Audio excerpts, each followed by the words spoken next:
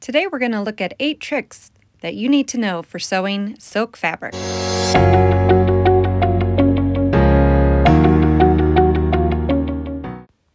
The fabric that I'm using in this video is 100% silk that I was given to use from Minerva.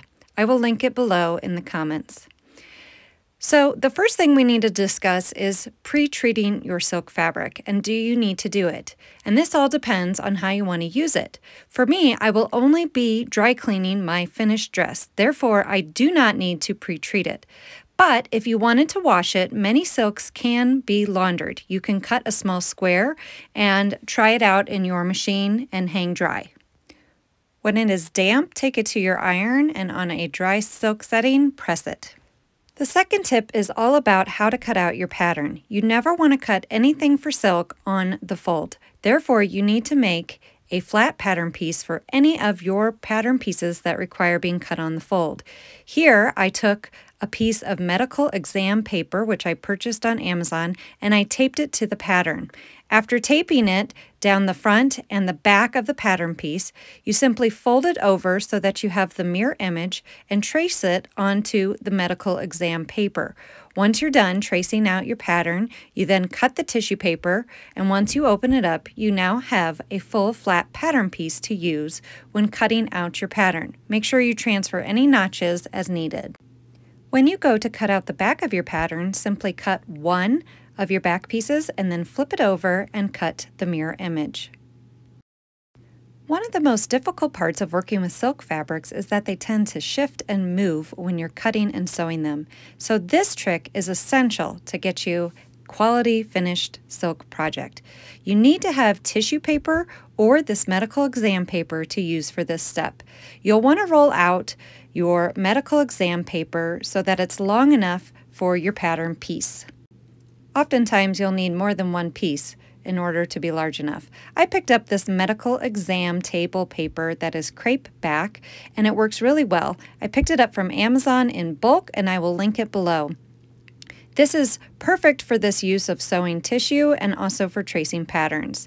Next, you want to tape your pieces together so that you can sandwich your fabric in between prior to cutting out any of your pattern pieces. Repeat this process for a second piece. Next, it's time to cut our fabric. You'll want to begin by laying down one set of tissue paper and then place your fabric on top. But before you cut out anything further, you'll need to make sure that your fabric has been straightened. Let's talk about how you can straighten this up in case wherever you purchase from did not already do this.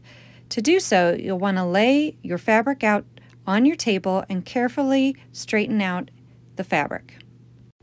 Line up your selvage edge with your straight ruler, and then on the other edge, put a one and a half inch snip, find a single thread, and then pull it to show you where to trim your fabric to even it out. Fortunately for me, Minerva already did this when cutting my fabric, so it was not necessary. For my project, I'm using a pattern hack, so I am altering the pattern that you see here.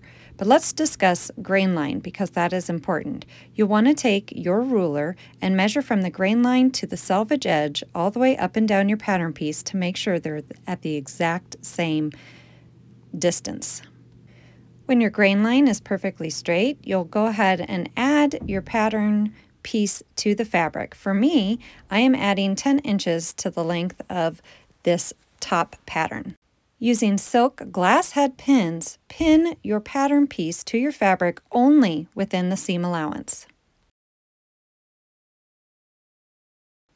For the bottom portion of my hack to work, I separated the hemline piece and used 10 inches on each side of the dress, slightly flaring out the sides so that it would create the mini dress look that I was after.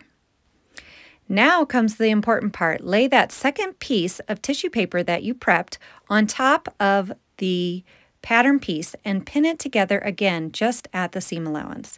Next, take your rotary cutters or your scissors and go ahead and cut out your pattern, making sure that you're careful not to move any of your pattern pieces or shift. You can also use sharp scissors such as these Ginghers. Just know that silk will dull things, so you will probably need to sharpen your scissors or change your rotary blade when you've finished. This next step is a little more difficult. You want to carefully unpin and remove only the pattern piece from in between the layers of tissue.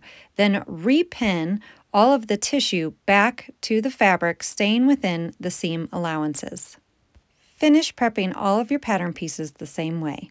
Now that you've cut them all out, it's time to discuss thread. What type of thread should you use when sewing silk? Well, one example would be what I used, which is 100% silk that I picked up from my local Joann store from Gütermann.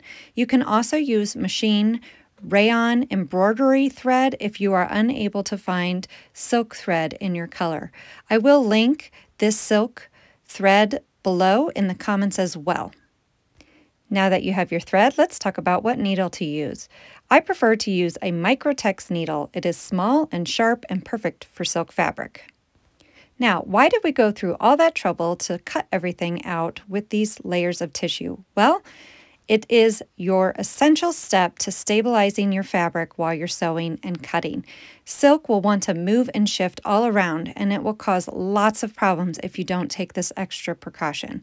Once you've done this, you'll want to leave your silk attached to this tissue paper as long as possible during construction.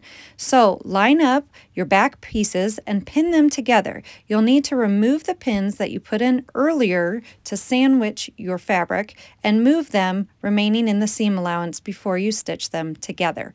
Here you can see I am leaving the pins in as long as possible and sandwiching the fabric. I removed one side of the tissue paper for this shoulder seam and it worked okay, but preferably you'll want to leave in all the layers of tissue if possible. So now you're ready to sew. Let's talk stitches. When it comes to sewing, you have a couple of different options. You can use a straight stitch here and just leave it on a lower length like 2.0, but I like to use a slight zigzag stitch. And the reason for this is it allows the fabric to move a little bit and prevent all those puckers. So you'll want to turn down your zigzag to a very low width of 0.5 and keep it at a 3 length or if your machine has a 2.5 length option you can do that as well. By doing this you allow that fabric to keep the movement slightly and not have any of those unsightly puckers and pulls. So now that you've kept your tissues together on your fabric, you're going to move it to your machine and it's time to sew your back pieces together. Here, you just sew right through the crepe paper as usual. After sewing your seam, remove the tissue paper gently from just that seam allowance.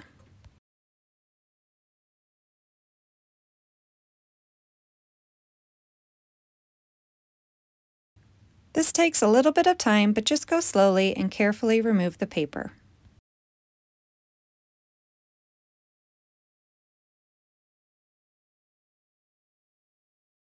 After finally getting all that paper off, it's time to talk about what to do with those seams. For me, I found the easiest thing to use was a pinking rotary cutter like I have here from Olfa, and I'll link this one below as well. Simply use that rotary cutter to pink all of those seam allowances and then press them open. So now it's time to hem your project. For me, I'm choosing to use what's called a baby hem. And the reason I'm choosing a baby hem is because of my fabric weight. It is very delicate and slightly sheer, and I want something that will allow it to hang nicely when being worn. The first step in a baby hem is to put in a line of stay stitching where your hem will be. You want this to be slightly shorter than your final hem allowance. So add your line of stay stitching at 1 8th of an inch above where your hem will lie. Then taking your fingers, you'll want to press it up and have that line of stitching just slightly below that fold line. Next, take it back to your machine and putting a little bit of tension on it, you'll want to put a line of stitching right next to that row of stay stitching you can see here why a practice stitch is needed. I needed to adjust my tensions before I put in my final project. But if this were to be your final project and you were happy, at this stage, you would now take your scissors, preferably applique or duckbill scissors if you have them, and cut this extra fabric off as close as you can to that line of stitching. Once your fabric is trimmed, you're going to take it back to your machine and just fold up slightly, kind of rolling that hem up right on those two lines of stitching that you just created. It'll be about a 1 8th of an inch hem and what you'll want to do is go ahead and take your straight stitch and try to stitch close to that turned up edge. I practiced a little bit and found that when I stitched closer to the folded edge, my fabric would tend to roll out. So instead, I moved my needle slightly back towards the left, and I'm trying to stitch either right in the center or towards that top edge of my fabric neatly all the way around. To help me get a neat seam that is not going to, or excuse me, a neat hem that is not going to pucker, you need to put a little bit of tension on your fabric. While you don't want to pull the fabric, you do want to keep tension on it so that it is not pulling up and puckering as you go. Take your time, do this slowly. It is a delicate finish and you want this line to be as straight and neat as possible. I think you will be happier if you take your time and go slow instead of trying to rush that hem. Here you can see in the final project, you can see two rows of stitching from the wrong side, and on the top side that the um, people will be able to see, you'll just have this one beautiful line of stitching. And now you can sew all your silk projects with confidence and get a beautiful result.